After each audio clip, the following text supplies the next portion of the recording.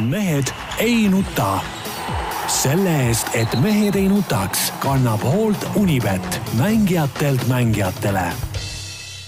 tere kõigile, kes meid vaatavad ja kuulavad, ükspuha mis ajal, ükspuha mis vidinast, Mehed ei nuta eetris, Tarmo Paju Delfist. tervist. Peep Pahv eriagendina üle kogu maailma. ja tervist.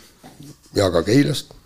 Jaan Martinson Delfist, Eesti Päevalehest ja igalt poolt mujalt. olgu kohe alustuseks öeldud, et praegu on esmaspäev ja kell on öö, kaks läbi kolmkümmend üks minutit. seekord ei ole mina süüdi, vaid on süüdi Tarmo. absoluutselt jah, ütleme niimoodi. ükskordki.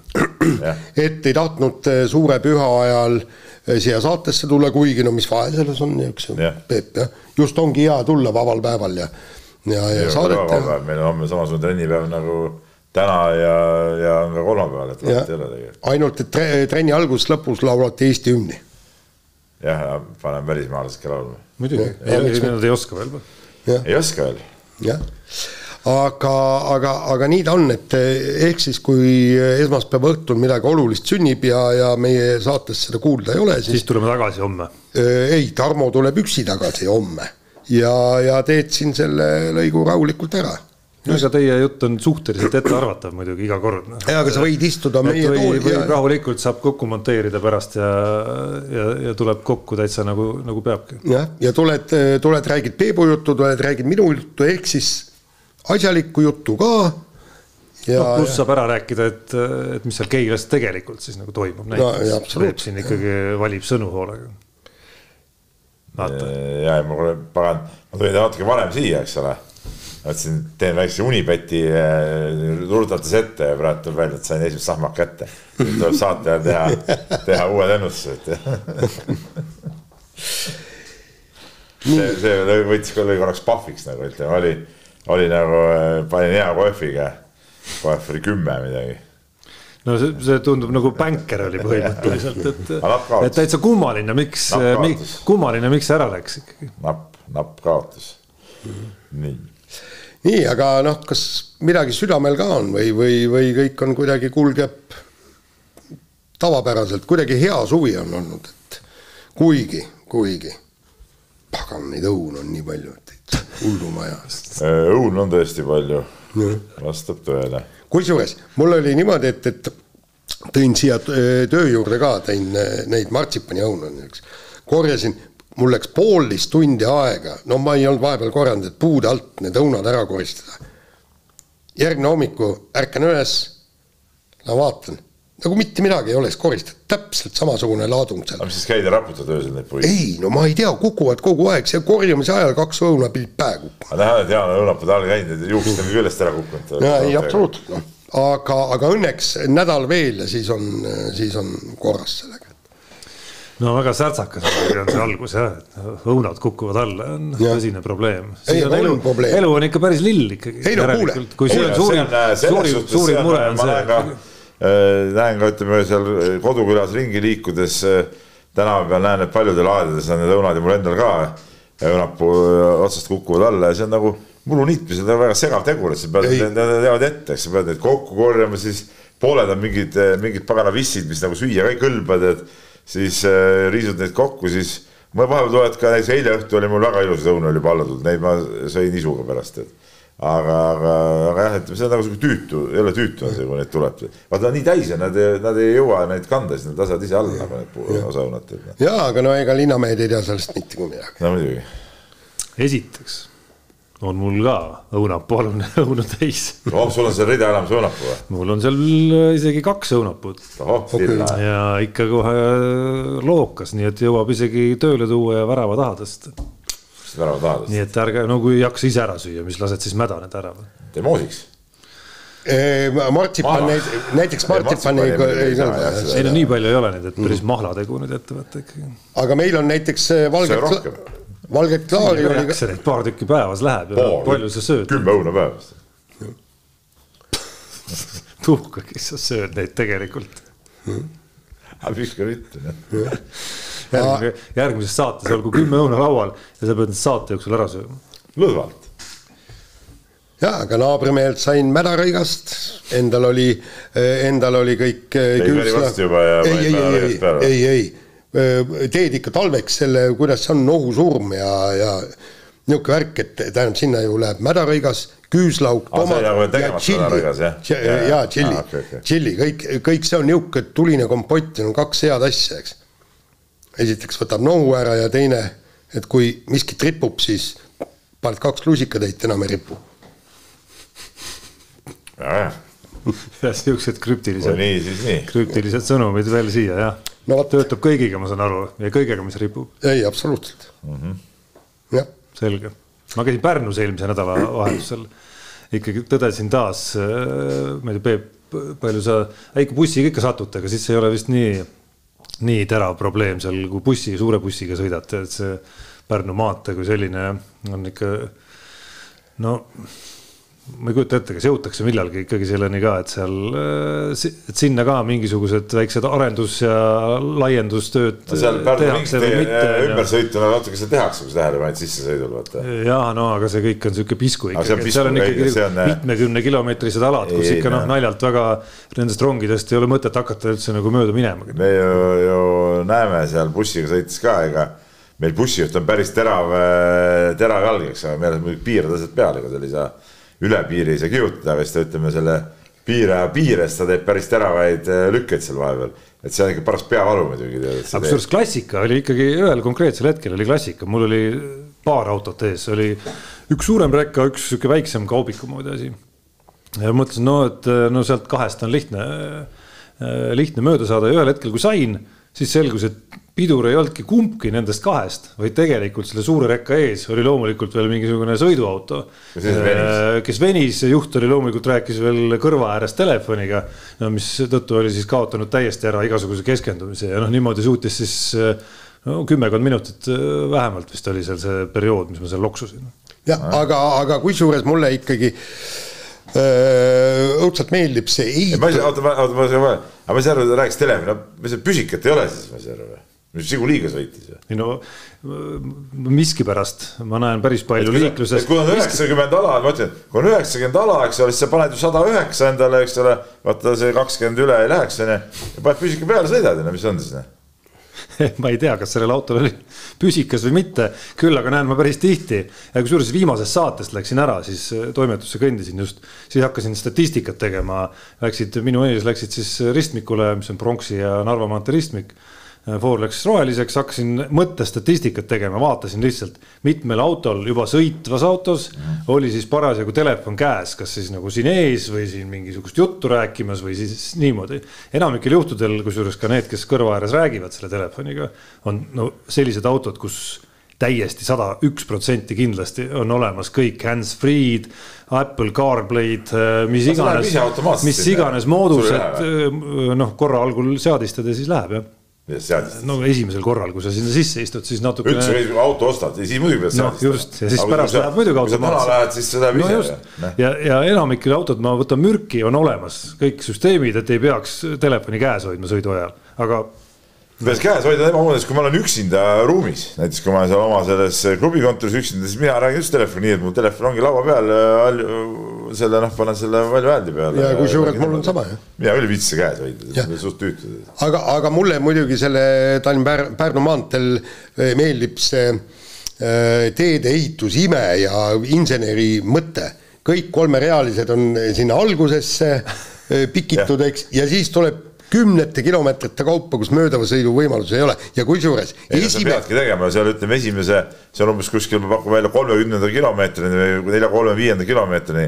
sa pead kõik need kiired lükked ära tegema enne seda no.. ei, absoluutselt. kõikidest pead mööda saama. kõikidest mööda saama, ütlesid, kõik sul ees on kõikidest mööda ja siis võtad rahulikult noh. ja, ja aga just eriline, eriline geniaalse. saja üheksa.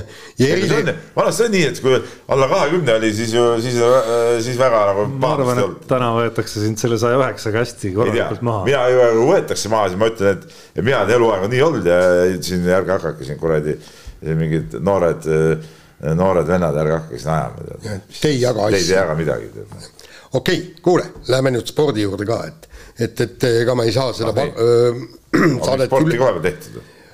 no räägime nüüd sellest, et mida, mida veel tehtud ei ole, aga, aga, aga hakatakse te, tegema. ehk siis seitsme, kaheksakordne maailmameister Sebastian Ogier andis teada, et äh, jätkab äh, võitlemist ralli mm tiitli nimel. et äh, et nii ongi, teeb kaasa kõik ülejäänud rallid, kuigi, kuigi ta kirus ja kritiseeris seda punktisüsteemi, mis no väga-väga ei luba teda, aga mis me, ongi. oleme siin kogu aeg kritiseerinud, Tarmo on selle poolt kogu aeg. aga see näitabki seda, et ta ei jaga seda ala. no mis totter, võida ära juhi laupäeva õhtuks, võida ralli ära, võida ära ka pühapäevane päev ja punktikatse ja kõik on sul väga hästi. miskipärast ma ei näe mehi, kes niimoodi teeks. jah, aga, aga kusjuures, kusjuures minu jaoks on natukene kummaline see, et Ožee suudeti välja peksta, sellepärast et me räägime, see individuaalne tiitel, noh, see on äh, nippa-nappa. minu arust see ei ole üldse kummaline, Jaan. see on, ma saan aru, oota ütleme lause lõpuni, siis ma ütlen, miks see ei ole kummaline. jaa, aga, äh, aga ei suudetud Kalle Roandpera samamoodi välja vedada. no vasta. see on sama küsimus, mis puudutab seda politsei võrdlust. Kalle Roandpera on ju noor noored on nagu nad on, eks ole, ega neil ei ole mingit sihukest äh, andumust või või, või ma nüüd olengi nagu spordimees ja eluaeg panen siin edasi nii palju kui torust tuleb.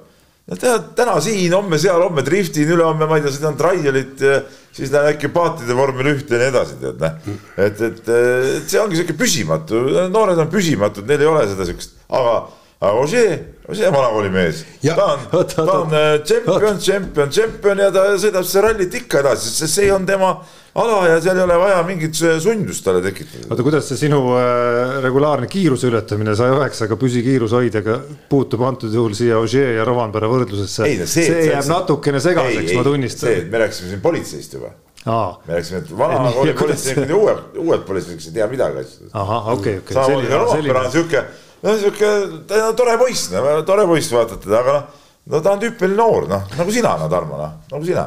ja sul ka seda ei ole nagu siukest, tead noh, see spordi mõttes nagu seda püsivust. äkki, äkki, äkki on asi lihtsam ikkagi, äkki peitub asi lihtsalt äh, selles, et Terrine Vill sada kuuskümmend kaheksa, Sebastian Ogier sada nelikümmend üks ja Kalle Rovanpera kaheksakümmend kuus. oot, oot, oot, oot, me rääkisime, me rääkisime praegu tiimi maailmameistriks tulekust. no kuule, Ogier peamine, ma arvan, motivaator on siiski see, et ta saaks äkki, tal on hiilgav võimalus saada ikkagi see oma puuduolev kätte. muidugi on, aga aga kindlasti, ma, ma olen nõus veel kord mürki jah. võtma, et tiimi pärast ta küll tagasi ei tuleks. see oleks, see oleks muidugi ilgelt äge, kui ta tuleks, tuleks maailmameistriks nüüd siukse selle asja pealt. ja, ja tegelikult ma kujutan ette, et vaene Thierry Neville, et tal on öö, tal on ööuned kõik läinud ju selle peale sellepärast, et siiamaani oli üsna noh, niisugune üsna kindel, et ta võtab selle tiitli ära, sellepärast et noh, Elfin Evansist on selge, et ei ole vastast.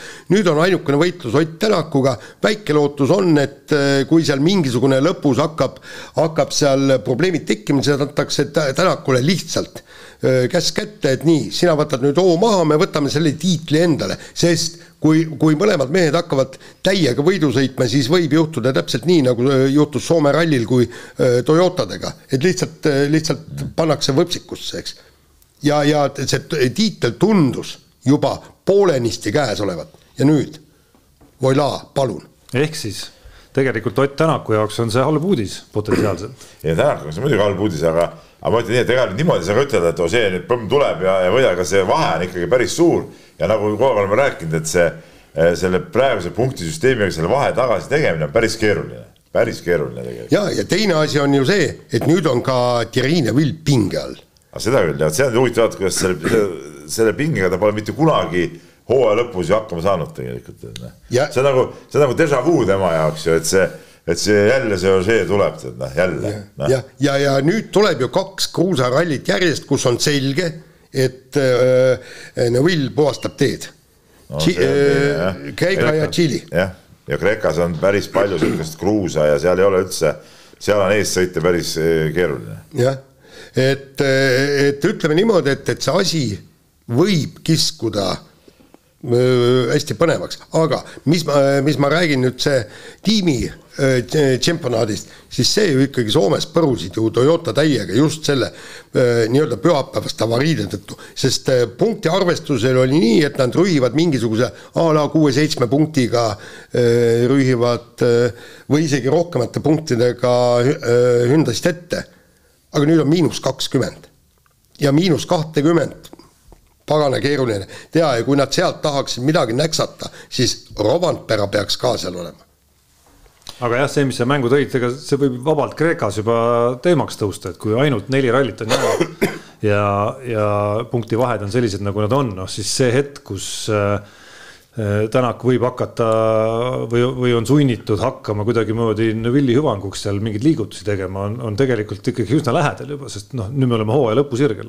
ei, absoluutselt, absoluutselt jah, aga seal on ka teine variant, eks, et lõppeks lõppeks võib juhtuda niimoodi, et, et tiitli pärast võistlevad hoopis Ogier ja Tänak, eks jube palju sõit, sõltub no,. selleks peab ikka väga palju juhtuma. No, see... selleks peab Neville'il esiteks juhtuma mingisugune noh, nulliring.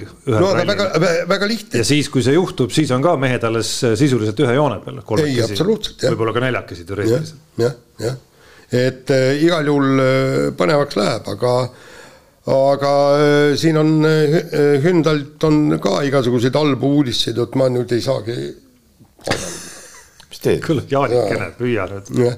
et, äh, et, et põhimõtteliselt Rally2 auto arendamine lõpetati ära ja, ja põhimõtteliselt kõik, kõik need nii-öelda sõiduvahendid, mis praegu on, et noh, sisuliselt vanarauaks.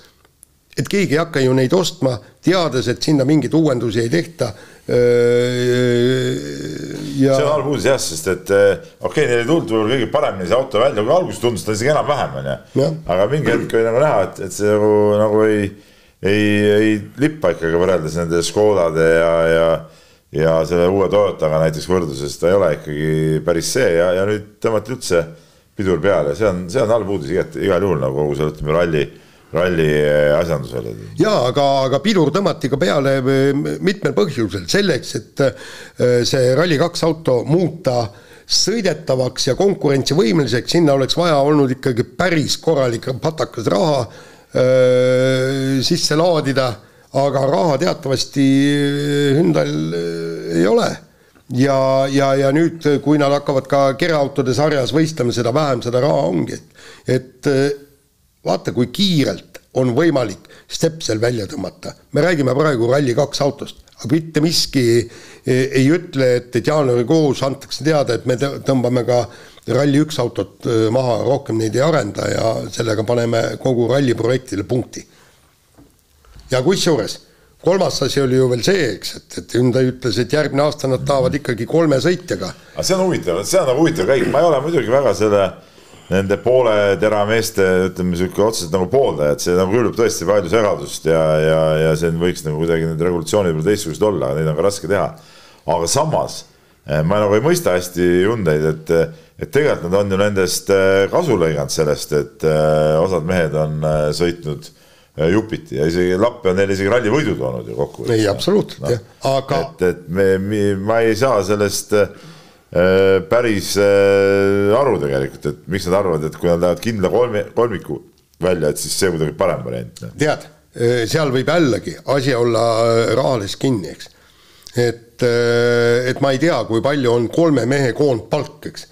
Sordo, siis Lappi ja Mikkelsen Äh, ma ei tea, kui võib-olla saab selle ühe mehe, kui nad räägivad Formoost, kes on tõesti väga hästi sõitnud, sel aastal tihtipuhku poodiumi on olnud, võib-olla nad saavad tema odavamalt kätte, teine asi on see, et et kõikidele nendele nii-öelda teistele meestele tuleb anda äh, lisa väikseid rallisid, nad peavad saama testida kõik ta-ta-ta-ta-ta-ta, et võib-olla on jällegi, vaadatakse, et me saame sellega miljoni või kaks kokku hoida et, et seda poliitikat ei tea, aga noh, eks ma lähen, lähen nüüd Kreekasse, et võib-olla saab tiimibossilt küsida, äkki ta paotab natuke ust, kuigi, kuigi no vaevalt mm. -hmm. Nonii, aga vahetame teemat ja, ja teeme väikese jätku eelmise saate äh, olümpiajuttudele olümpia on meil eredalt meeles veel, Jaan, terve tee, kui me siit toimetusest äh, stuudiosse kõndisime, rääkis, kui mõttetu on kõik see sport, mis meil ümberringi toimub praegu, sest olümpia on nii eredalt meeles. Äh, me analüüsisime eelmisel jah. nädalal Eesti delegatsiooni ja Eesti spordi äh, täpsemat seisu. nüüd on nädal möödas ja, ja ega see ega see mõtiskelu kuhugi kadunud veel, veel ei ole selle vahega, et vaataksime nüüd korraks neli aastat ettepoole, ehk siis äh, sinna suunas, et, äh, et kust need medalid Los Angelesest siis Eestile tulema peaks. Jaan kirjutas siin ühe loo ka vahepeal mitte küll nii detailse, kui ma oleks lootnud, oleks nimesid tahtnud võib-olla rohkem sealt loost näha, rohkem oli küsimusi. ja no nii ta paraku on, et et, et meil on ju jah, võib-olla see, see oli rohkem kommenteeriv lugu, ma ei, ma ei tea, millist, ma olen mitu lugu kirjutanud, et, et ma ei tea, millist sa selle all mõtled, aga, aga, aga ta tegelikult ongi just see, et et selle tõid ju välja soomlased. Väga, väga ehtsalt ütlesid, et, et tegelikult on ju praegu pilt on Soomes väga hästi selge, ta ütles, me teame tänasel päeval kaheksakümmend protsenti nendest eh, sportlastest, kes hakkavad võitlema Äh, Los Angeleses medalit, äh, medalite nimel ja täpselt seda teame ju meie ka. ja äh, nagu ma seal kirjeldasin, eks, punkt üks, vehklejad. kõik, kogu see vehklemisnaiskond, kui nad vähegi jätkavad ja kui nad isegi ei jätka, siis individuaalselt ka. Katrina Lehis ei kao kuhugi, no Nelli Tihverti kohta ei oska öelda, Julia Beljajev ütles, jätkab, Kristina Kuusk jätkab, kaks noort tulevad alt peale. Nemad on need, kes võivad võtta medali ja teine asi on kümnevõistlejad. no kolmas asi on ujujad. ja pluss ujujad ja pluss ujujad ja mõlemad, nii Tšerk kui Jefimova. aga kas te näete, seal oli veel niisugune väikse küsimärgiga, et, et kes, kes näevad unes medaleid, eks, ja seal on kindlasti no Peeter Olesk laske, laskjatest ja ja, ja, ja sisuliselt. Jürisson ka. ja no Jürisson ka jah, ta on kahekümne kahe aastane, võib-olla sellepärast aga, aga, aga sellega me paraku piirdumegi, kui me võtame kogu selle ülejäänud seltskonna, nad on, Nabi ju ei lähe sinna enam, eks, neljapaati enam meil ei ole, kes seal veel loobuvad, mäleta, vanuse tõttu, eks. neli, ma mõtlen, kas neli aastat natuke liiga pikk aeg selles mõttes ei ole, et nelja aastaga võib siiski noh, võib siiski juhtuda või, või sirguda ka ja, ja areneda sportlane selliselt, et, et me täna ei oska veel nagu näppu isegi peale panna. noh, võib-olla see, see kõlab natuke, võib-olla natuke liiga utoopiline, et see meie seitsmeteistaastane kümnevõistleja Gonzo nüüd nelja aastaga päris olümpial medali soosikuks yeah. sirgub, kuigi me olümpial kahekümne kahe aastaseid yeah. nägime juba ikka nagu väga, väga särtsakaid liigutusi sellel alal tegemas, mis noh, ütleme Erki Noole aegadel väga tavapärane just ei olnud. jaa, aga e, tegelikult on, aga me räägime ikkagi, e, jällegi ma võtsin ju ekvivalendiks selle kolm aastat tagasi lõppesid Tokyo olümpiamängud, millised üllatused olid, e, et nendest, kes pääsesid olümpiale. praktiliselt üllatusi ei olnud, kui me võtame kümnevõistlust kui kümnevõistlust, aga mitte persoone. oli, tegelikult oli kolm üllatusnime, üks oli Jurisson üks oli äh, see jalgrattur äh, Madis Mikkels, kuigi me teadsime, et jalgrattur sõidab, aga seal oli jah, täpselt persoonina oli Gert, aga ma ei mäleta, kes see kolmas, äh, kolmas, kolmas veel oli, aga me räägime olümpiale jõudmisest nende puhul, mitte medali võitmisest. ja, ja tähendab, praegu on vehklemises on kaks noort neidu, aga nad on siis Los Angelese ajal kahekümnesed jah, nad võivad midagi seal teha, sellepärast et Julia Beljajev tuli kahekümne kahe aastaselt maailmameistriks. aga, aga noh. ja kas mitte äh, Nelli Tihvert kaotas ju ka üsna verinoorele pronksi matši nüüd? ei, see oli kakskümmend neli vist ah,, ei, see oli kakskümmend neli, see või oli kakskümmend kaks ka, noh, ühesõnaga nii. siis, kes võivad kindlasti ja isegi võib-olla medaleid võita, on meil maadlejad, meil on umbes neli-viis maadlet, noort maadlet, kes on võitnud praktiliselt kõikides vanuseklassides tiitlivõistluste medaleid. ja nelja aastaga nad võiksid jõuda medali tasemele, aga selleks tuleb nendega teha väga spetsiifilist ja täpset tööd, eks ju aga, aga see on ka, see on ka kõik kergejõustikus, kas te näete kedagi, kes võiks nelja aasta pärast võita medali?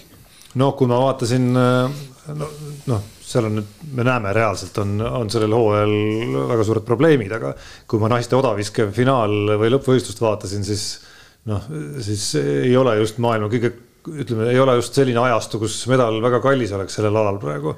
et üks kuus, kuus, kuuekümne neljaga vist oleks medali kätte saanud juba ehk siis ma tabasin küll ennast sellelt mõttelt, et noh, et see võimekus on ju tegelikult olemas no,. Kedli, kedli tugil. no, no teoreetiliselt muidugi on, aga, aga millegipärast ei ole see välja tulnud ja nüüd te siis räägite küll nagu siin, et kes võiks ja see kõik nagu, nagu toredad küsimused, aga mind rohkem paelus nagu Jaani tegelikult see tänane, tänane lugu, mis sa selle soomlaste põhjal äh, kirjutasid ja, ja välja tõid kõik need need arutelud ja mõtted ja mis, mis seal välja pannakse, mis mind nagu häirib, on, on see, et meil midagi sellist nagu ei ole, et see, me võime siin, me võime siin nüüd arutada, et no kes meil sealt tuleb maadlusest ja kes meil sealt tuleb vehklemisest ja kergest, kõik, kõik nagu tore, aga see ju ei, ei remondi meie seda spordisüsteemi, mis nagu selle olümpia tulemuste põhjal on ikkagi omadega nagu, nagu täitsa nässus, eks ole.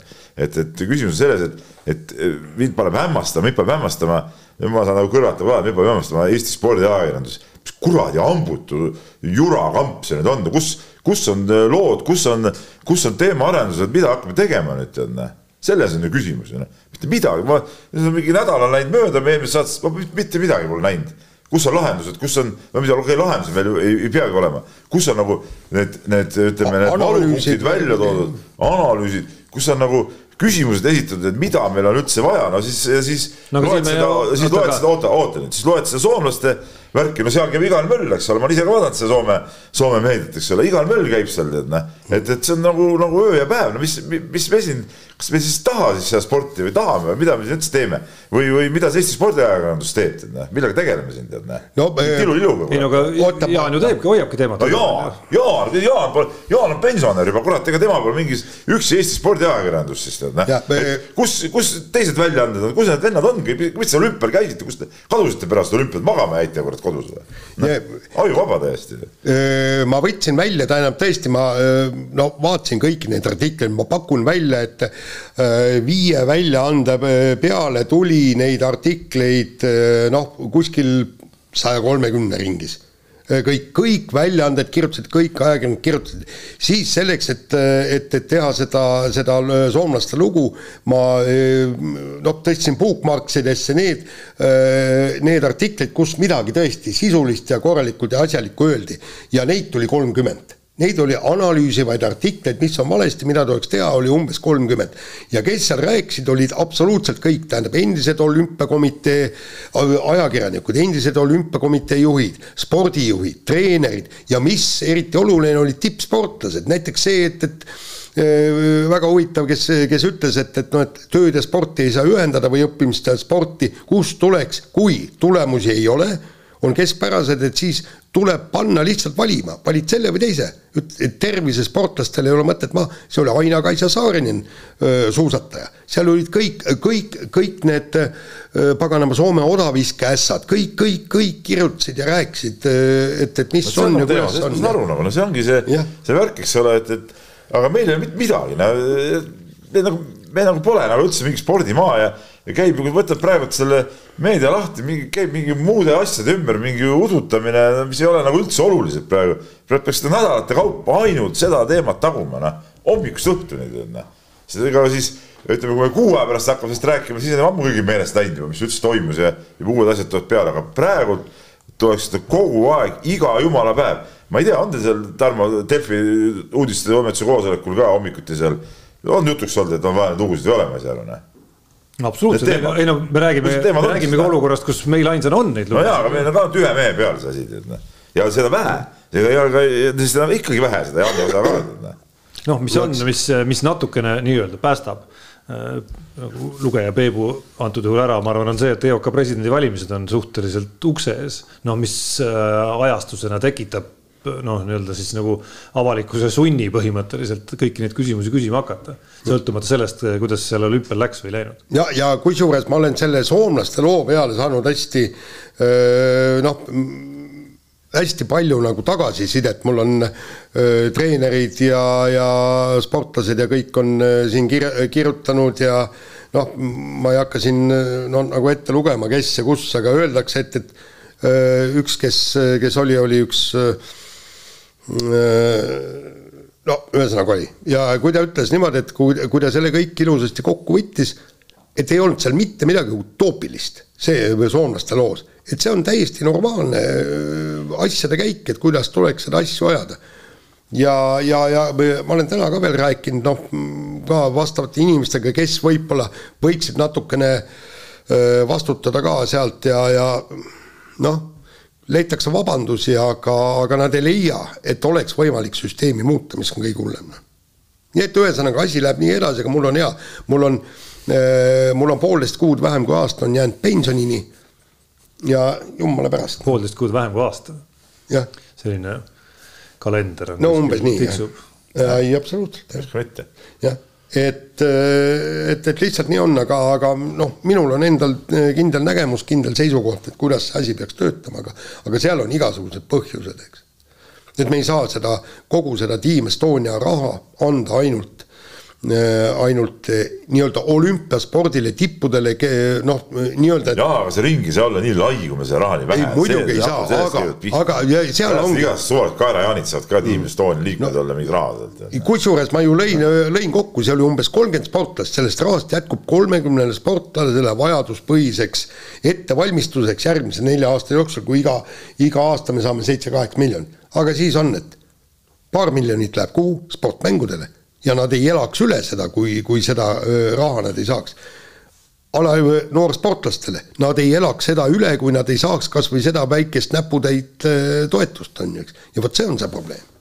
tegelikult peaks olema eelarve kolmkümmend miljonit ja, ja, ja täpselt nii ta on. Noh. jah, aga noh, eelmises saates sai rapitud kõvasti siin riiki, et see rohkem raha ei anna, aga noh, ega lõppkokkuvõttes raha tuleb ka ise leida ja ka kasvõi ametis oleva presidendi kõik äh, lootused, lubadused ja prognoosid juba siis, kui ta esimest ametiaega alustas, noh, ei ole ju ligilähedaltki täitunud no et seal, seal on ka hirmus suur potentsiaal või noh, potentsiaal või nii-öelda noh, vajakajäämine või, või tegemata jätmine või, või läbikukkumine, kuidas iganes me seda nimetame. ja äh, jällegi see noh. teades nagu, me... teades, et ümbruskonnas kogu see noh õhustik eh, ühiskonnas no ei, ei, ei, ei soodusta antud ajahetkel just eh, sponsorite saamist, noh siis, siis on lihtsam muidugi rääkida, aga, aga samas see ametiaeg algab oluliselt varasemast ajast kui kõik need viimased kriisid. ja aga sa, aga sa näed ju ka tollest ajast peale, eks, et eh, ega tegelikult ongi paljud suurfirmad,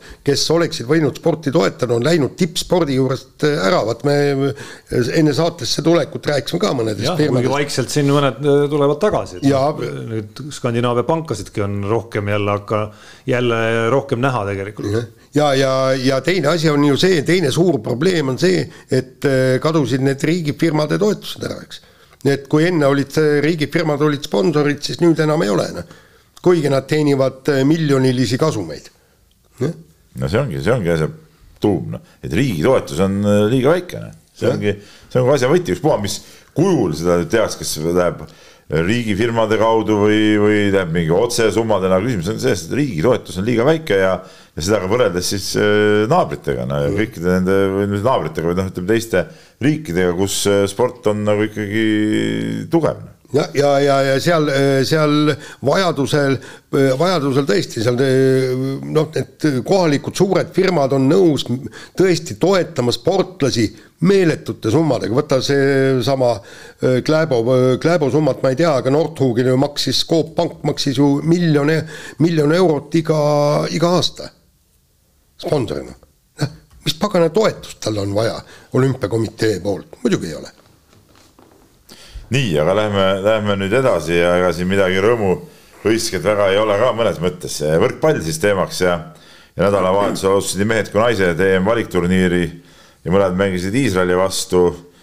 noh, meeskond tegelikult alustas tublilt, kolm-üks võitsid, kuigi seal ütleme pärast kohavõitluses võib see kaotatud game ka olla, olla siukseks kaalukeeleks, aga noh, kokkuvõttes ikka võit, võit ja võit ja naiskond siis kaotas üks-kolm ja tegelikult ütleme selle nädalavahetuse võrkpalli teemadest võib-olla olulisem oli siis see, et, ähm, et naiskonna pikaaegne kapten äh, Liis Kivilo siis tõmbas äh, koondise karjäärile, no teati tõmmanud veel alla, see oli küll viimane kodumäng, et ta väljas teeb veel, teeb veel ühe mängu ära, aga, aga tema tõdemus siis, et ja millest me oleme siin palju rääkinud ja natuke naisvõrkpallurit ka hurjutanud, et et äh, kui rohkem naisi profiks ei siirdu, siis pole taseme tõusust juttu ja no pigem olgem ausad, et siin viimase aastaga on see tase ikkagi naiskonnas ikkagi päris kõvasti alla käinud ja see tuleb sellest, et äh, naised äh, mängivad kõik Eestis, noh. ja siin see noh, see naiste liiga, no ma käisin eelmine aasta siin paari mängu ka äh, vaatamas, kuna isiklik tuttav ka mängis seal, siis,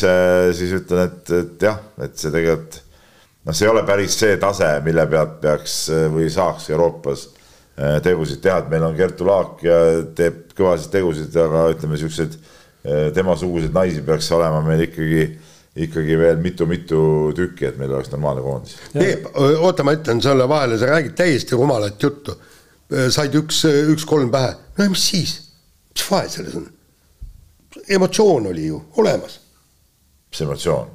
ei no nagu kirju-, kirjutas üks väljaanne, et, et ei ole vaja olümpiamedalit. ei ja... vaata, seal on küll, isegi kui nad oleksid kaotanud ütleme null-kolm ja kõik game'id siis niimoodi, et kaks game'i nulliga ühes oleks saanud see ühe punkti, siis see üks punkt oleks saanud ka emotsiooni. ei, absoluutselt, ei, aga emotsioone muide, pettumus, valu äh,, häbitunne, kõik see on ju ka emotsioon. ah, seda ka jah, et no selles. no nüüd läks ilkumiseks. ei no ütleme, ei, ei ilkumiseks, me räägime asjadest nii nagu. ei no asjadest nii nagu ta on ja no nii nagu ta ongi selles mõttes, et ma ei näinud, et keegi oleks äh, Eesti naiskonna liikmetest seal äh, käsi taeva poole ajanud ja küll me ikka tegime ägeda üks-kolm kaotust. ei, me praegu, me ei ilkunud praegu naiste kallale, me praegu äh, rääkisime mentaliteedist, kui sa ütleme, noor, äh, noor reporter, ütleme, noor reporter oma selles äh, särgi värvivalikus äh, aru ei saanud. alles, alles kolmekümne kuuendal minutil tuli, tuli särk jutuks. aga naiskonna sees, ütleme, on seda sihukest kriitikameelt õnneks päris palju, ma just sattusin nägema Äh, Tarmo Tiisleri intervjuu vist oli Aktuaalses Kaameras mõni päev, mõni päev Eile. tagasi. või sa mõtled, mina mõtlesin, ma just tahtsin tsiteerida eilset äh, Sten Esna intervjuud. seda ma ei, kuna ma ei näinud tegelikult äh, seda ülekannet niimoodi, et siis ma nägin, see oli siis, kui oli viimane kontrollmäng ja, ja. aa, Kristiine Miileni intervjuu. Kristiine Miileni intervjuu ja see oli, see oli päris, päris hea ja ütleme, see jättis mulle omakorda siukse väga nagu positiivse mulje, et noh, tegelikult naised ise ju kus saavad ka aru, mis, et, et asi on nagu jama ja, ja midagi tuleks teha, aga noh, nüüd ongi küsimus selles, et, et raske on midagi teha, kui sa igapäevaselt oledki siuksel sihukesel amatööri tasemel, noh, sa ei saa mängida. jaa, aga kõige hullem olevatki see, et need noored ei taha minna välja. no vot, see ongi jah, see ongi nagu hämmastav. No et seal eilses Esna intervjuus kõlas ka täpselt see küsimus, et noh, mida siis teha, et nad tahaksid rohkem et mida siis treenerid peavad tegema näiteks ja minu arust Esna ütles väga õigesti, et siin nagu kõrvalt ongi väga raske teha, et, et see tung, kas tuleb sul seestpoolt soov seda profileiba hakata maitsma ja, ja, ja sportlikud ambitsioonid ja soov kuskile tippu jõuda või, või, või seda ei ole, et noh, sa ei saa kõrvalt seda nüüd dikteerida väga. ma ei tea, Peep, sa oled noorte, noori ka treeninud üles, noh kindlasti on mingid moodused, kuidas treener saab äh, ära rikkuda seda soovi ja kindlasti on mingid moodused, kuidas treener saab võib-olla noh, aidata kaasa, et see võib-olla no, oleks natukene suurem, aga noh, ilmselt on see piir seal ees, kui palju ei, teha saab. kindlasti on piir ees, äh, kindel on see, et sa saad kaasa aidata, sa saad luua selle ütleme siukest nagu nagu saavutusele orienteeritud äh, keskkonna ja mentaliteedi nagu luua selles, selles mingis treeninggrupis, kus see, kus see sportlane siis on. et sellega saad kindlasti kaasa aidata, tekibki see sihuke mentaliteeti, et ma tahan seda paremaks, ma tahan minna kõrgemale, kaugemale ja, ja nii edasi, aga samas ma olen näinud ka seda, kuidas ikkagi eh, nende kõikide loodud eh, eelduste, tingimuste kiuste, ütleme, mingid eh, tüübid, kes tegelikult võiks üritada päris normaalset asja teha, noh, loobuvadki mingite õpingute, ma ei tea, töö, mingi muu hobi, lihtsalt ei viitsi ja nii edasi, et no jah, et see ongi see seest kui sul seda sisemist asja ikkagi ei ole, et näed, siin me võime äh, treenerid või, või kõik need kõrvalseisjad pea peal seista või teha mida iganes, eks ole, et kui, kui sportlasel endal seda sisemist soovi ja tungi ei ole, siis on nagu raske, aga ma ütlen, seda tungi väljatoomist või selle, kuidas nagu, nagu võimendamist on võimalik äh, kõrvalt teha, aga see alati ei pruugi aidata. aga seda peab tegema, kui seda ka ei tee, siis on muidugi äh, täitsa võimatu kuhugi jõuda jaa, aga kui me vaatame jälle meestesatsi, kes võitis ka, noh, tähendab, ühesõnaga seal kohati mäng, mängiti ju imeilusat mängu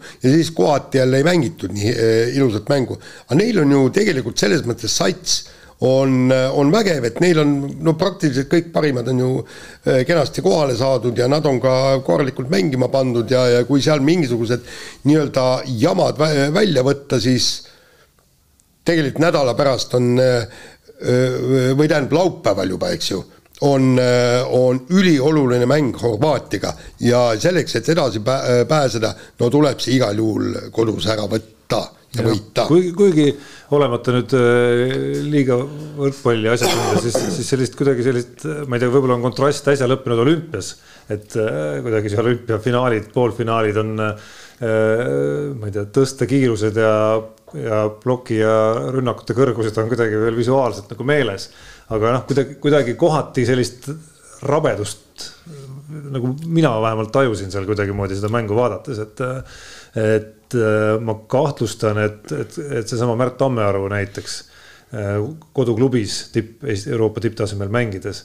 et, äh, et ta ilmselt on võib-olla nagu paremini ära kasutatud seal või, või saab tõsteid endale natukene mugavamalt, et. et seal selle praeguse koosluse paika loksutamisel ja, ja koostöö parandamisel on ikkagi päris palju minu arust vaeva vaja näha veel no seda küll jah, ma, ma tunnistan ausalt, ma mänge endid panen, ma no kerin natuke läbi ja ja, ja, ja vaatan ta, ma, ma olin nädalavahetusel muude ülesannetega seotud, et ma ei ei saanud otse nagu täit mängu vaadata. ja aga meeste, meestekoondise üks pluss on ka see, et, et see ühtlus, et kui pingilt tulevad mehed ja hakkavad ka otsustama asju ära no,. see oli äge muidugi, see, see lõpplahendus oli muidugi. ma saan aru, et tähtistus pingil ja siis. ja no seal hakkas ja. ikkagi neljandas skeemis hakkas äh, kuuega olid peal, vahe vähenes ühele, kui ma õigesti ja. mäletan, kuskil kusagil seal viieteistkümne, kahekümne vahel olid juba, olid juba punktid ja, ja siis tuli, läks täht pingile pärast kahte servi vastuvõttu apsakat ja tuli Kordas väljakule ja noh, põhimõtteliselt otsustas mängu. jah, oligi nii. kusjuures nii rünnakul serviga kui plokis vist isegi korra või kaks. plokk muide töötas päris hästi. sellist asja on alati äge näha. ei no see näitab ikkagi võistkonna sügavust, no see on nagu selge noh. ja, ja, ja kusjuures tore oli ka see, eks, et äh, Robert Tähe reaktsioon ütles jumalast õige, õige käik, mind välja, teine mees sisse ja, ja nii ongi noh. ja, et kiitus peatreenerile ka selle, selle hea lükke eest. nii aga nüüd äh, rääkige mehed korvpallist, et äh, tuli tegelikult üsna üllatav uudis, et äh, Henri Trell sõlmis lepingu Portland Trail Blazersi satsiga, mis ei tähenda seda, et, et ta oleks nüüd seal satsis, aga, aga tal pole isegi kahepoolset lepingut vist. ta lihtsalt on treeningprotsessis sees ja üritab siis seda nii-öelda kahepoolset lepingut teenida. et noh arvamusi on mitmeid, üks, üks ütleb, et äh, jumalast hea, teine ütleb, et äh, noh, ei ole nii hea, et, et kas on keegi, kes on ju nii? no mõtle, mida sa seal nagu heaks pead, noh, et. Äh, et ongi, tähendab üks, üks et noh, loomulikult et... unistuste maailmas oleks tahtnud näha, kuidas oleks Henri Trell ilmselt ka ise tahtnud näha, et mängib veel suveliiga ära. Chicago Bulls paneb lepingu lauale ja, ja asi vask ja eelolevaks hooajaks äh, garanteeritud, garanteeritud asjad ja jutud ja ei peaks sellist liikumist üldse ette võtma, et noh, selge, selge, et see uudis viitab sellele, et, et nii hästi. nii loodetud, ja et nii loodetud kujul see asi ikkagi ei läinud. aga noh, nüüd on siis uus koht, uus võimalus tõestada no,. Peep oskab treeneri pilguga vaadata, aga sellel tasemel kindlasti Henri Trellis on sellist mängija tüpaaži, ma arvan, kes eriti NBA kontekstis vajab treenerit, kes oskab ka kasutada sellist mängijat. et, et kui Chicago Bulls siis noh, see tee nagu otsa lõppes, noh siis saab näha, kas Portlandis kuidagi nagu sellisele tüübile on, leitakse parem rakendus no see oleneb kõik ju sellest jah, mis nägemus on, on treeneril ja, ja mis, mis tüüpi ta seda kasutada tahab, et. ja kuidas ta siis konkreetselt õnnestub. ja õnnestub ja, ja kuidas. trennides, mängudes. kuidas on sarnased mehed seal satsis ja kes seal on ja ma, ma tunnistan, ma ei ole nagu selle Portlandi satsiga niimoodi nüüd kursis, et, et kui hullusti seal, seal võitlema peab, aga, aga no ma nagu selles suhtes, ma usun, et Trell ise koha peal oskab seda olukorda hästi hinnata ja, ja ma arvan, et see oli pigem selline käik, mida, mis nagu tuli ära teha, et, et, et muidu oleks vist asi nagu sa ütlesid, eks ole, et oleks, oleks suure tõenäosusega asi hapu olnud ja no anname nüüd, nüüd on näha, mis saab, no ega siis ega kokkuvõttes ma usun, et ta seal ju selles äh, G-liigas saab ju igal juhul nagu äh, mängida ükspuha, mis, mis satsistega ta seotud on parajasti, aga küll ta seal selle endale koha leiab ja, ja sealt saab ikkagi oma, oma seda rida edasi ajada. jah, jah, et äh, noh eks kindlasti mingil hetkel, kui, kui neid uksi ei avane ja, ja, ja, ja terendab silme ees see võimalus, et noh, et, et, pigem see G-liiga ongi ongi parim, mida mulle regulaarselt seal pakutakse, noh, eks siis, eks, eks siis, eks siis ilmselt ma usun, võiksid tal hakata aina rohkem ka Euroopa tuled äh, ahvatlevaks äh, muutuma. noh, eriti kui läheb aasta, aasta edasi ja vanust hakkab natukene peale viskama, et noh, siis, siis noh, siis on see otsuse koht loomulikult, aga, aga ma ise kahtlustan, et nii, nii ta mõtleb ja, ja kõigepealt tuleb see Portlandi variant ära proovida ikkagi. nii, aga siin on teine korvpalli teema ka, et, et U kuusteist noormehed pääsesid korvpalli EM-il A-divisjoni ja noh, siin tekib küsimus, et kas U kaheksateist, U kakskümmend ei pääsenud, kas U kuusteist treenerid olid lihtsalt, lihtsalt eriti, eriti abitreenerid olid paremad või? Tervitan nende abitreenerit Maarju Paistet, väga tubli töö nii, aga, aga öelge, ilma irooniata, on siis selles satsis potentsiaali? no üldiselt korvpalliringkondades jah, see teadmine, et see U kuusteist koondis on, on potentsiaalikas ja, ja seal on niisuguseid tüüpe, kellega saab, saab seda mängu mängida, oli tegelikult reaalselt olemas. et ütleme, head aastakäigud on ka see U viisteist aastakäik näiteks on, on, on hea praegu peale, peale tulemas ja võib-olla ka see nende eelnev, see U seitseteist siis uuel hooajal nagu noh, kui sihukest aastakäiku pole, noh, klassi pole olemas. no ja tänavu U kaheksateist koondis koosnes peaasjalikult U seitseteist mängijatest. palju oli neid nooremaid mehi just võetud selle mõttega, et järgmine aasta siis, siis oleks, oleks asi tugevam. ei no väga kõva, kõva, kõva asi, et, et okei okay,, kuusteist on sihuke nagu ta on, eks ole, kõige, kõige noorem äh, EM-i vanusegrupp ja, ja no seal selles vanuses veel on ka kindlasti siukseid mehi, kes, kes on võib-olla natuke võib-olla ette arenenud või, või, või noh, ma ei räägi protestikoondis, ma mõtlen nagu üldse, eks ole, et, et kes võib-olla päris meeste korvpallis noh, pärast läbi ei löönud, jäävad selliseks, nagu ta on U kuusteist vanuses. aga see muidugi ei, ei, ei, ei vähenda mitte sugugi seda Eesti kuttide saavutust ja võita see B-divisjon ära. noh, see on, see on igal juhul üli, ülikõva asi ja, ja ja see on ka treenerite Brett Nõmme ja Maarjo Paiste poolt tõesti nagu väga, väga, väga vingelt tehtud, et et siin pole midagi ütelda, et kui sa siin Jaan hakkasid midagi provotseerima siin. ei, ei, see oli ilkumine. teemadel, siis U kaheksateist nagu Tarmo ütleski sulle, et oli, oli hästi palju aasta nooremaid kutte, mis oli nagu mõeldud nagu perspektiiviga vaadatud, ma olen seal nende inimestega noh, sellest ka rääkinud, eks ole, ja ja no U kakskümmend oli ka, nagu me oleme rääkinud, siin olid puudujaid ja ja ütleme, ei olnud see võib-olla see kooslus nii, nii piisavalt tugev, et, et seal äh, selle B-divisjoni võidu peale mängida, aga, aga ütleme jah, see, see poiste saavutus, aga nüüd on kõige tähtsam see, et kuidas neid, neid kutte nagu hoida äh, sellisena, et nad äh, noh, üks asi see, et noh, päris ära ei kao, teine asi see, et nad sealt ka edasi areneks ja ei jääks nagu selle selle oma tasemele nagu. no ja see läheb, see läheb. üldjuhul nagu elu näitab, et ega, ega, ega see kogu seltskond nagunii ei püsi, see on nagu selge. ja noh, see läheb nüüd väga individuaalseks kätte, eks.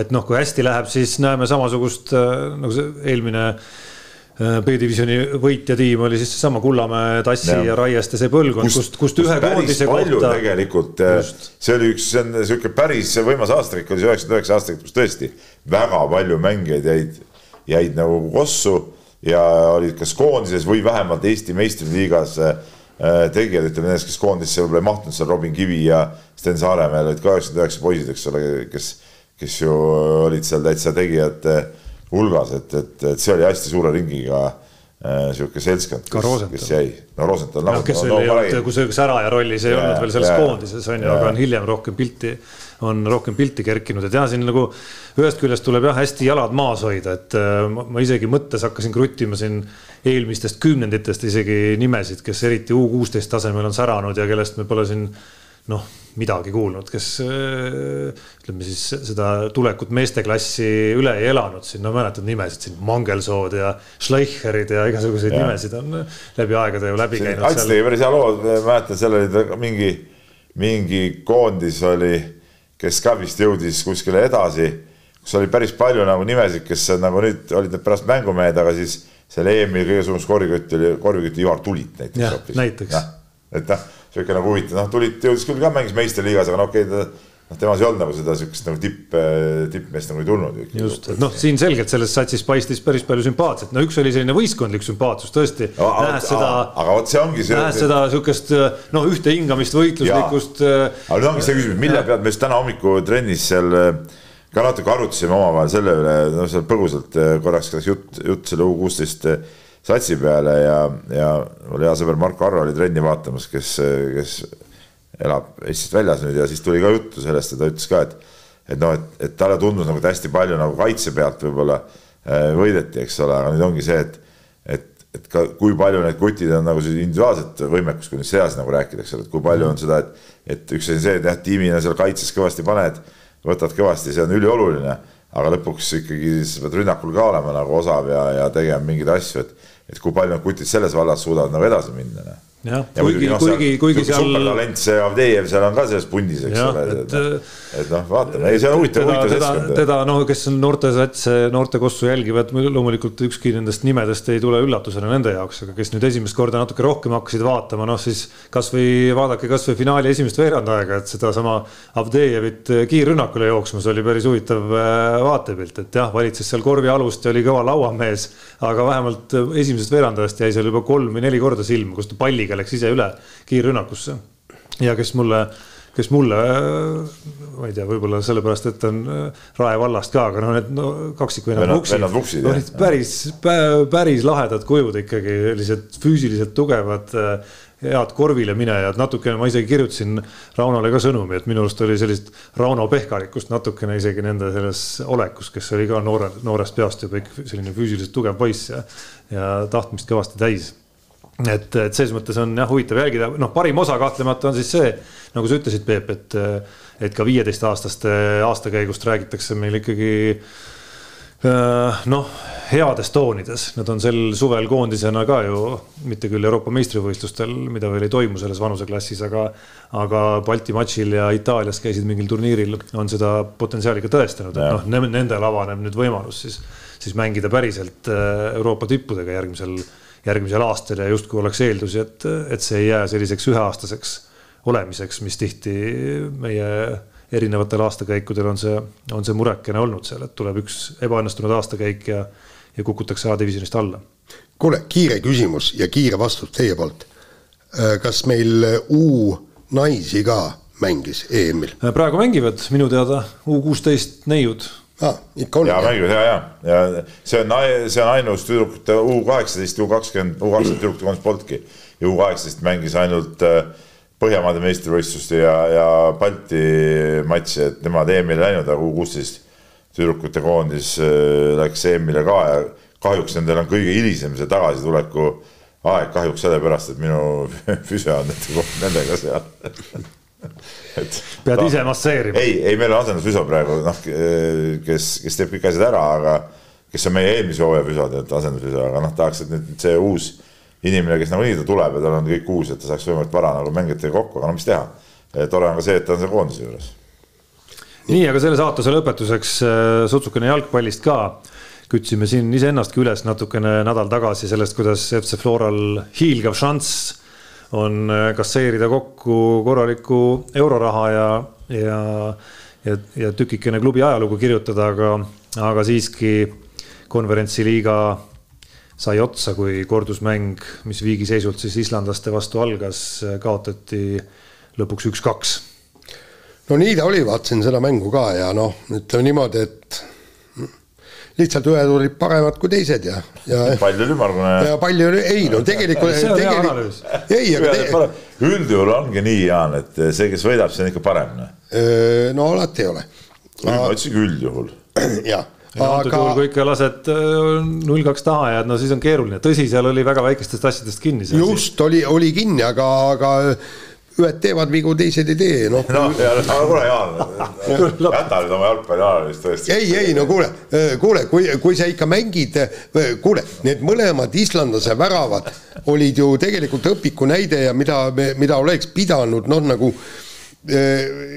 ette nägema, et, et kuidas seal on, vaata esimene, kui nurgalöögist tuli, peaga mängiti sinna taha posti ja seal lihtsalt, lihtsalt meil meest ei olnud. ja teine oli see, et, et kui sealt äärelt läbi saadi mis, mis asja need kaitsjad, mul tuli kohe pähe. no see noor, noormängija Vaher oli seal äh, ei, see sellega, ei, okei okay,, mängis pehmelt ära, eks. Äh, ja sealt tuli siis äh, sööt sinna värava, värava ette trahvikasti, kust lihtsalt löödi no täiesti lambist ära tühja väravasse. ja, ja selle peale mul oligi kohe mõte, mul tuli see hoki, hokivärk tuli meelde et kui äärelt minnakse läbi, siis ei hakata passima sinna, et kus seal midagi teha.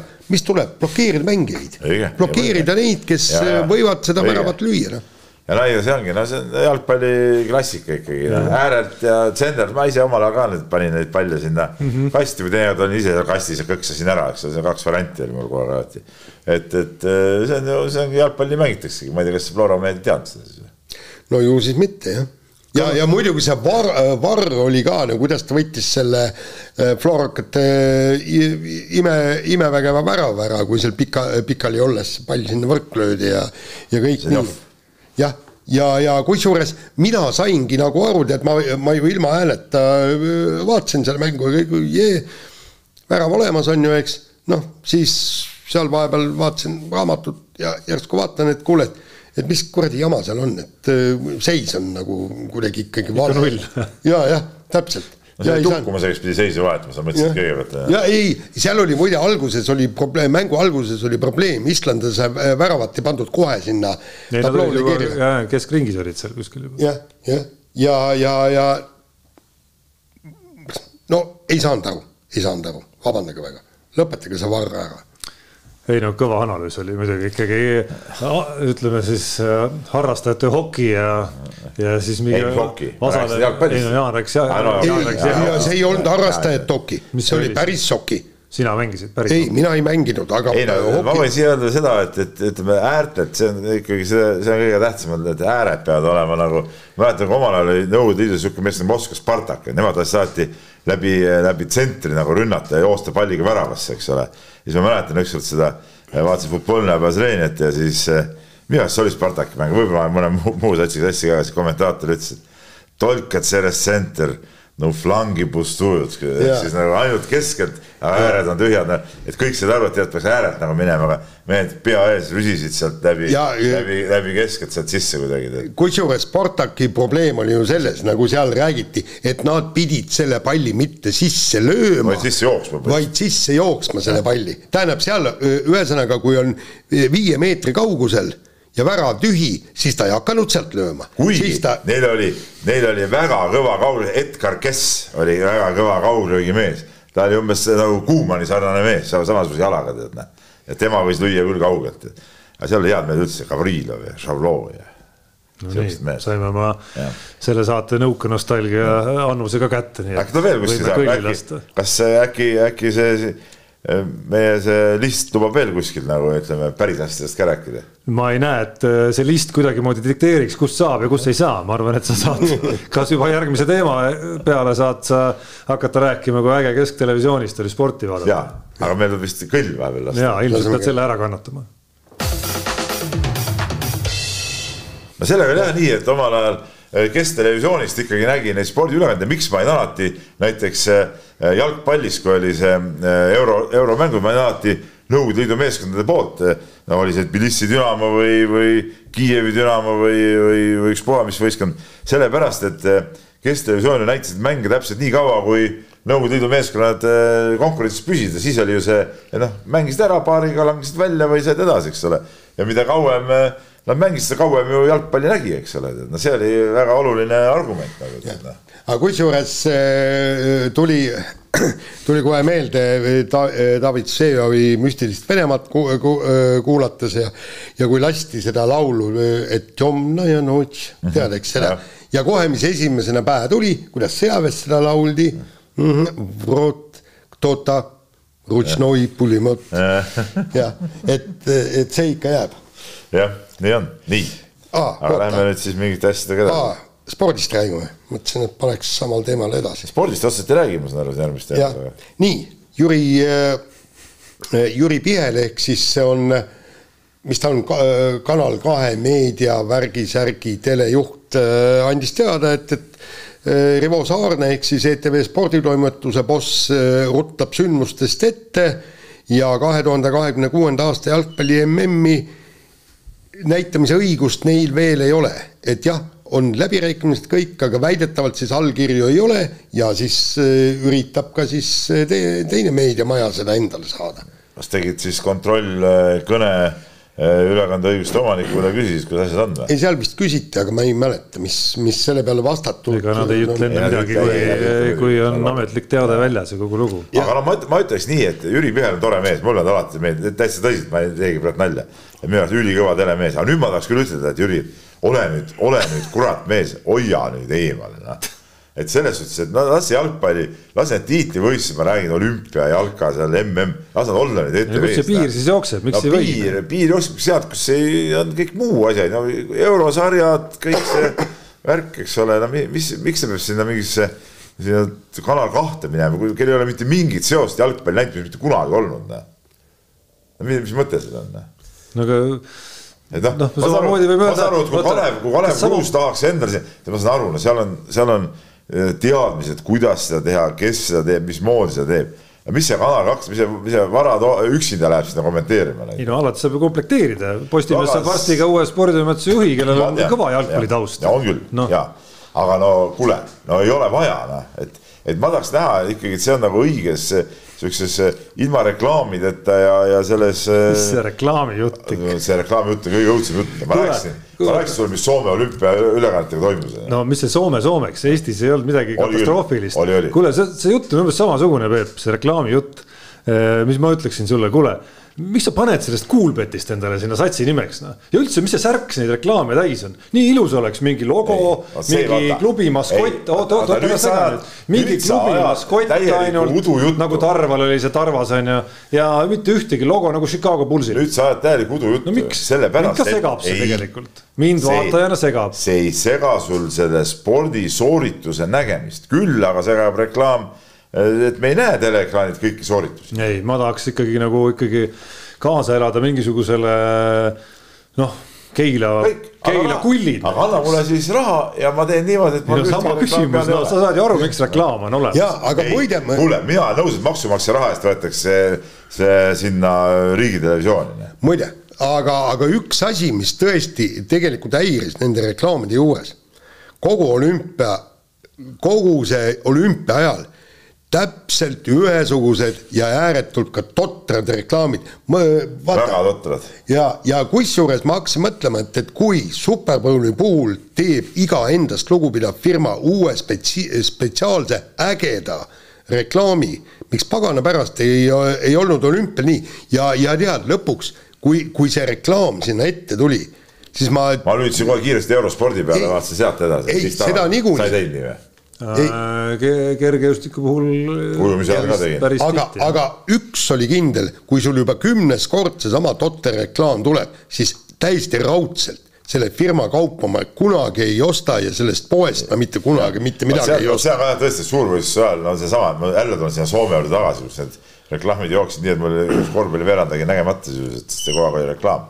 Eh, seal, seal oli ka no üks Coca-Cola või, või mis asja reklaam see oli mine metsa, mul mingi teisel päeval oli juba selline tunne, et ma võtan seda telekast seina küljest alla ja viskan minema, tead, no ei saa vaadata, noh, täitsa lõpp, noh. sina, kes sa oled suur Coca fänn. ja, ma tean, mul ei ole mingit reklaami tarvis selleks, et ma võtan selle Coca joon ära, tead, noh. ja siis kogu aeg üks ja sama ja see ühe ülekande jooksul mingi viiskümmend korda üks sama reklaam, noh.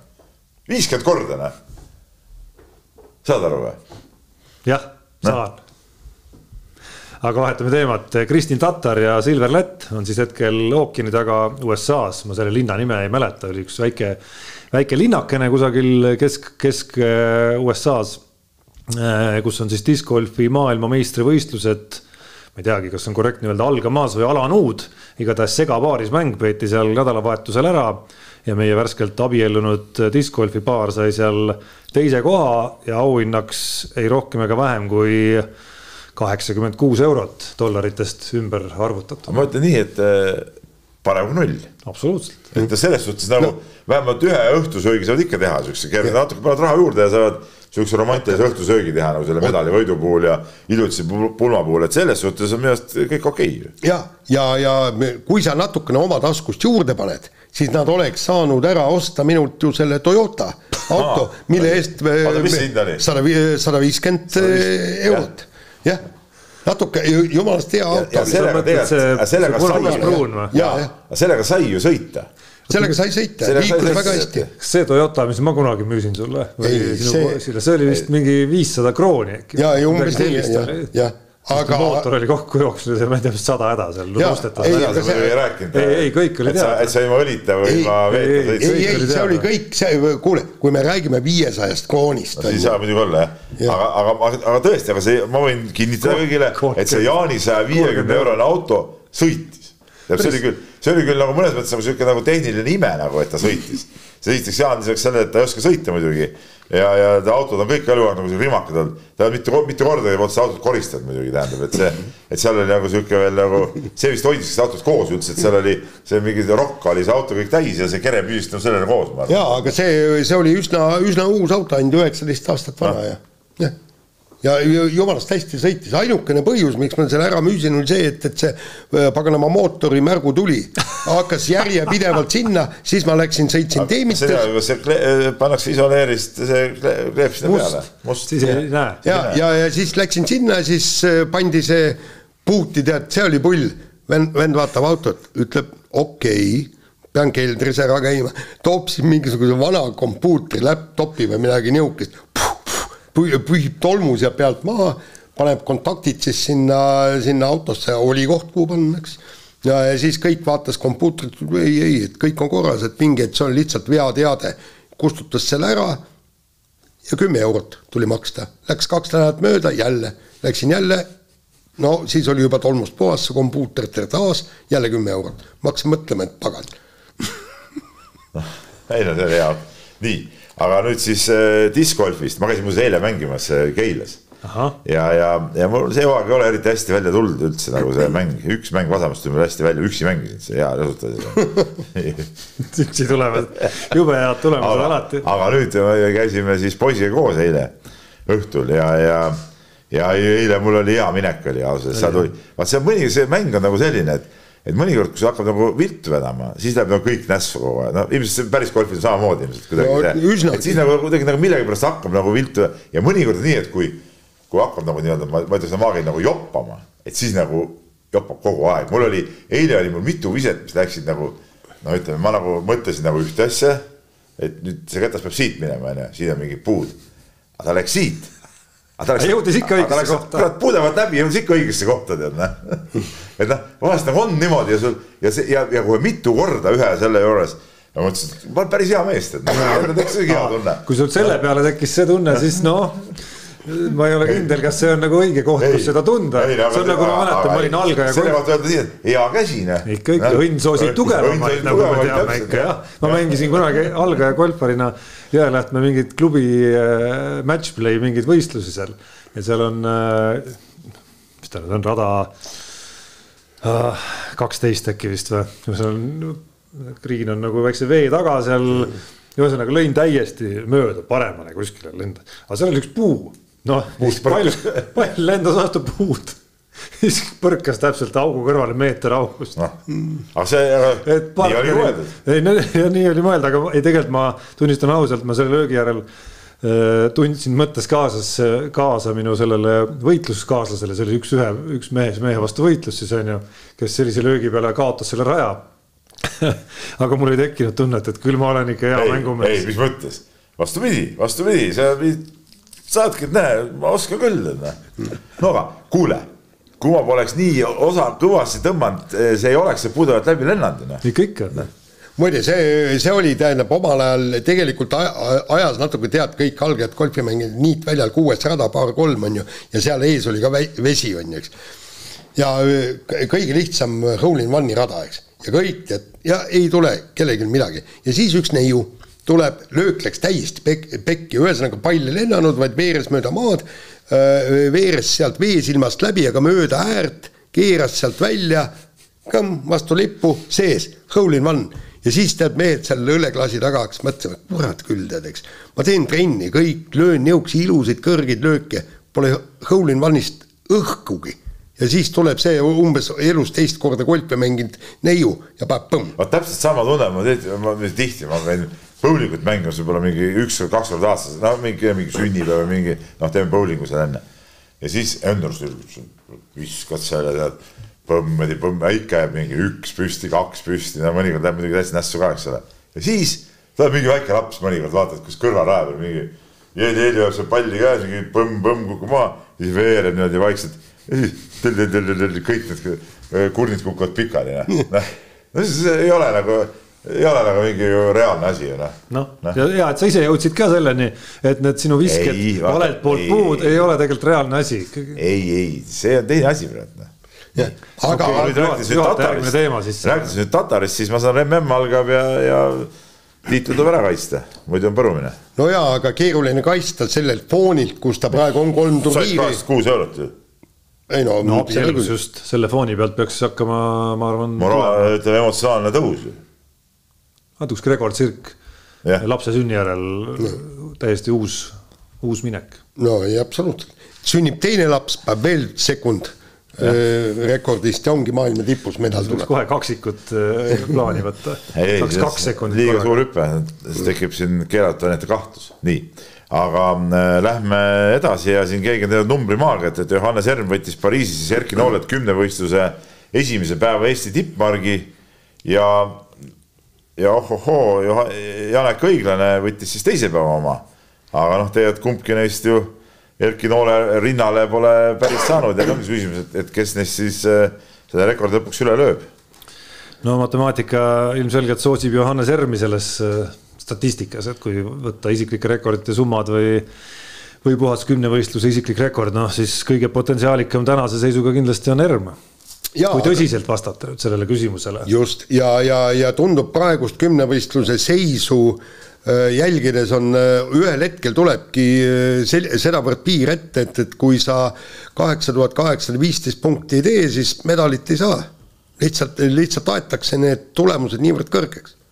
aga mis on jah huvitav, on see kümnevõistluse jälgijana juba, juba ikkagi väga vanast ajast, kuidas, kuidas me oleme sellest rääkinud ka siin ja keegi, kas Erki Nool ise vist on ka öelnud seda, kuidas need uue põlvkonna tegijad, sealhulgas Erm ja, ja tegelikult ka Tilga ja ka õiglane suudavad kuidagi oma sellest isiklike rekordite, üksikalade isiklike rekordite summast suurema protsendi panna ikkagi korraga kümnevõistluse tippmarki.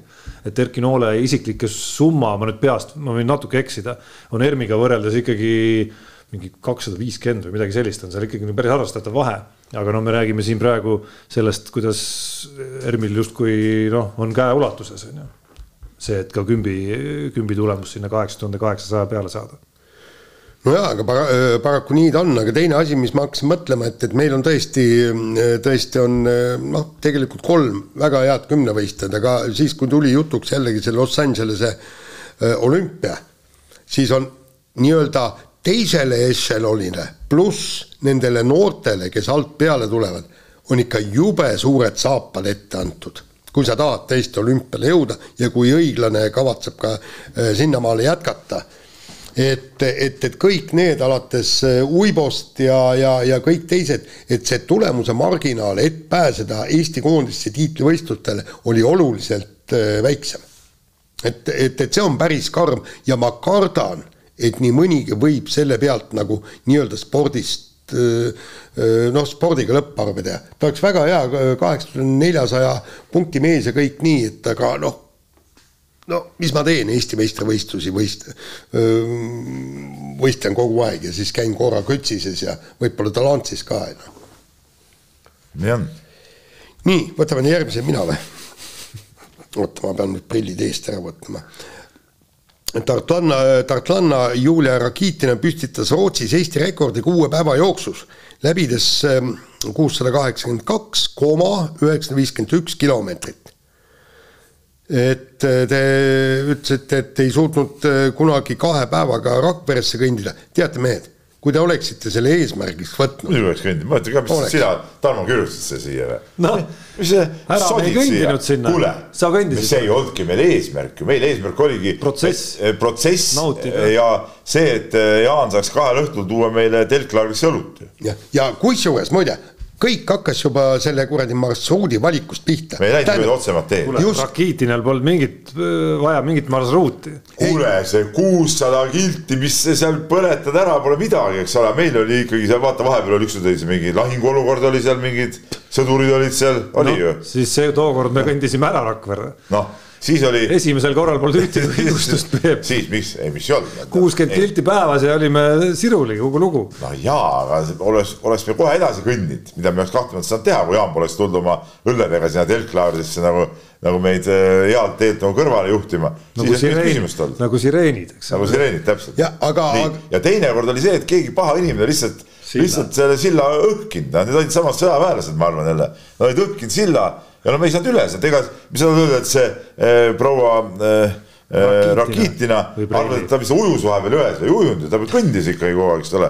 ja, ja, ja, ja me ei saanudki üle sealt ja no mis teha siis noh. ja siis tuli jälle ja see, kusjuures see oli väga hea plaan, hea mõte, et me nüüd jätame selle katki, me saame järgmine aasta uuesti tulla ja jälle Jaan sai oma õlledega tulla sinna meile ja veel kahel õhtul nagu sinna külla. sai või, kes see lubas meil seal oma hoovis? Kämbu. Kämbu, Kämbu lubas, et. tervitused Kämbule. tervitused Kämbule, et, et saab, võime, võisime seal hoovis telkida näiteks noh, me poleks kui me oleks nagu äh, Rakitina kombel lihtsalt nagu äh, hobusel need klapid peas pannud seal seda kuussada kilti, me poleks kämbut näinud, mitte midagi poleks näinud, et noh, mis parem nüüd variant on siis, mõtle selle peale ka.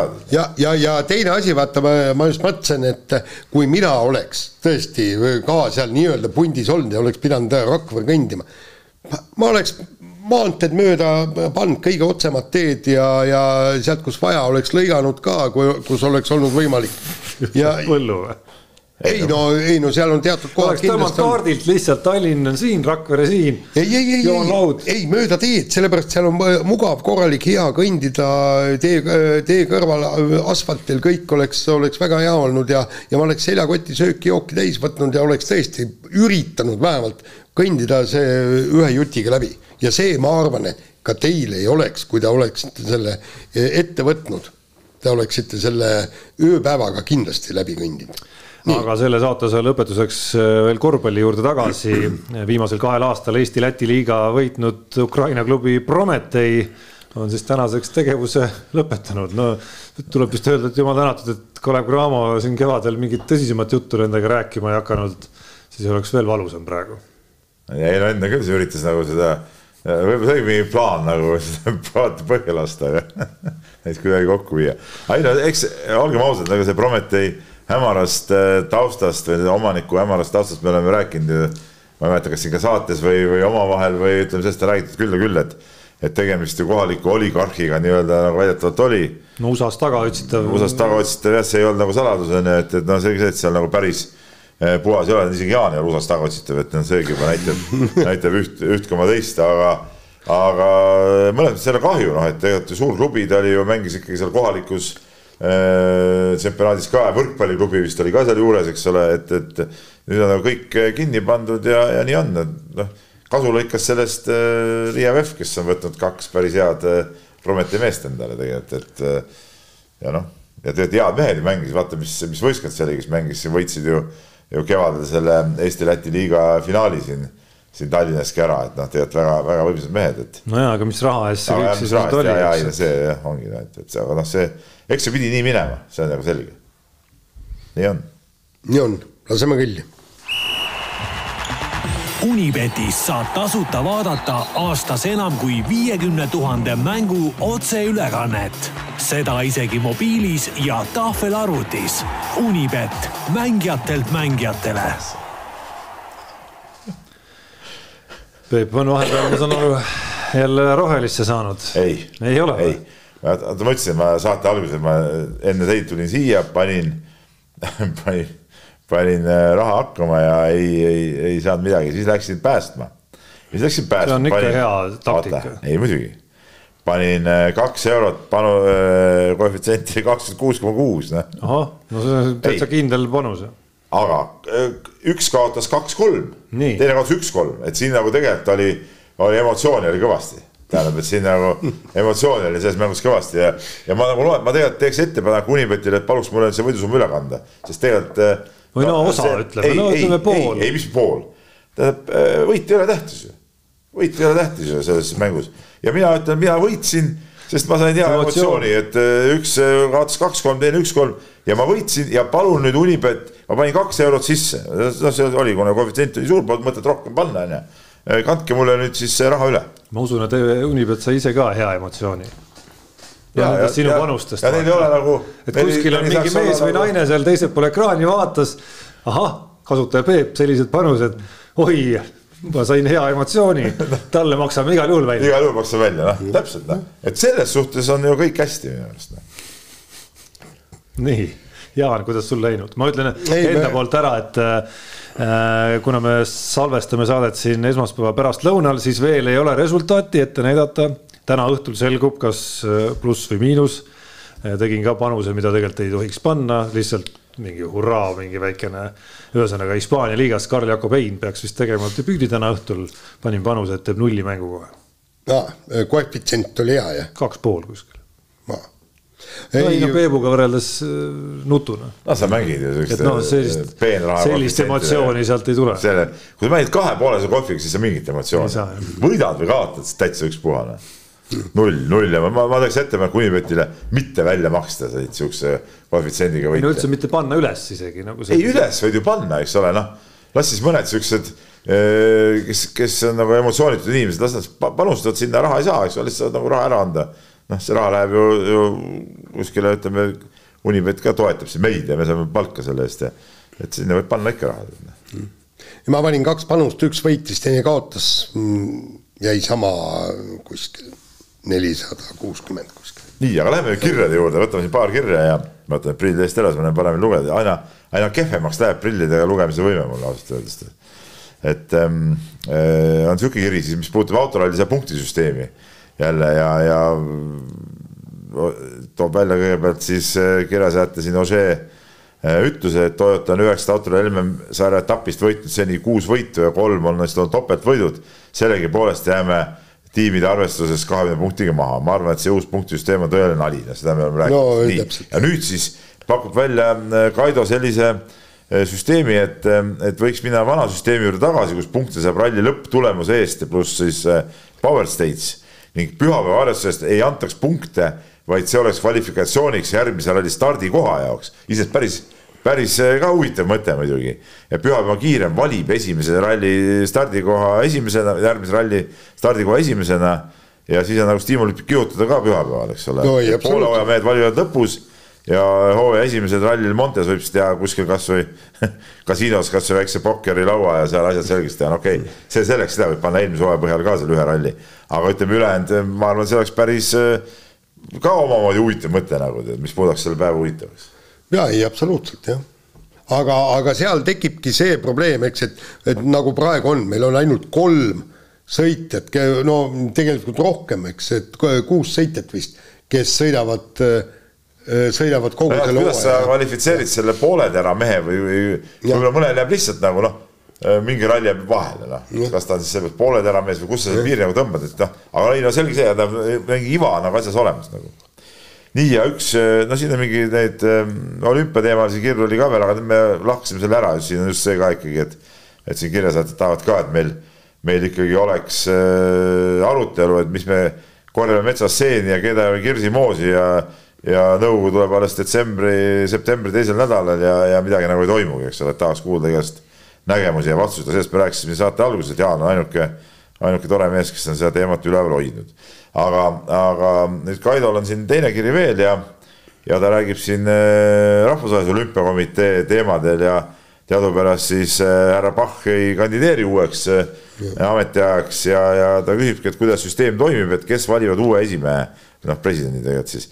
et kas sellest saab ka Vene, Valgevene või Iraani sportlaste järgmisele olümpiamängude lubamise teemadel riikide ülemaailmne jagunemine, et kas on reaalne oht totaalseks kannapöördeks ning Vene lipp lehvib juba kaks tuhat kakskümmend kuus talvel taas olümpial. tead, seal on äh, minu teada on see, et, et mitte riigid ei vali öö, äh, uut presidenti, vaid olümpiakomitee. ehk see rahvusvaheline olümpiakomitee, kus on sada pluss liiget ja noh, seal on igasuguseid karvaseid. seal on muidugi nii-öelda ROK-i liikmete hulgas on ju tõesti igasuguseid äh, äh tegelasi äh, vot kas alaliidud kuuluvad ka ROK-i liikmete hulka? ei, ei, ei, ei ole, see on ikkagi need, need personaalsed füüsilised liikmed. ja nii, need on see kamp, kes valib ka olümpiamängude toimumiskohad. ja, ja, ja aga tegelikult... see ei ole alati väga adekvaatne seltskond muidugi. no ütleme niimoodi, neid nagu ajalugu näitab, vähemalt olümpialinnade valimisel, neid saab ka vajadusel ära osta, nii et. noh, teisest, teisest küljest ei ole Toomas Pahh nüüd küll see isik, tänu kellele Venemaa sportlased noh, suures pildis on ikkagi olümpiaareenil eemal üksikute eranditega, et, et Bach on selline ikkagi selline üsna selline kusagil seal hallil alal pigem, pigem selles teemas navigeerinud. tundus, et Bach ikkagi aastatega nagu see tema seisukoht ikkagi muutus ka natuke. vaata, kui me. see oli nagu mingil eelmisel ajal, ütleme pärast seda Ukraina sõda ja, ja seal seal ikkagi äh, see asi läks ikka suhteliselt resoluutsemaks nagu tema poolt ka. ja, ja teine asi, nagu räägitakse, üks äh, võimalik kandidaat on kergejõustiku äh, liidu, jah, just. oleks päris hea variant. jaa, aga tema on ju väga resoluut, resoluutne, mitte ühtegi kergejõustikvenelased on ammu väljas juba, jah. jah, jah, ja, ja, ja, ja tema, tema oleks tegelikult tõesti väga hea variant. tema, ma arvan küll, et noh, ta on ikkagi ka legendaarne atleet ise, noh, see on juba, see on juba vägev värk, eks ole, jah ei, Go oleks. ehk siis, ehk siis, ehk siis no, minu mõte on see, et ehk siis nagu otseselt juhi vahetusest ei pea nagu seda muutust nagu kartma, et, et noh, Bach, Bach võib... ikkagi pigem aitas kaasa minu arust sellele, et, et mingitel aladel need uksed lahti tehti olümpial Pariisis no, no jaa, aga tegelikult presidendist äh, sõltub palju, no nagu võta see Samarants tegi ikka, see, see oli täiesti absurdne käik, eks. korraldada kõigepealt olümpia Moskvas ja siis Los Angeleses, teades ette, et, et, et sealt tulevad igal juhul tuleb, igal juhul tuleb jama, jah. täpselt. Juan Antonio Samarants. vot, aga tõmbame otsad kokku siis. no tõmbame otsad kokku ja kuulake meid siis järgmine kord. mehed ei nuta saate tõi sinuni Unibet, mängijatelt mängijatele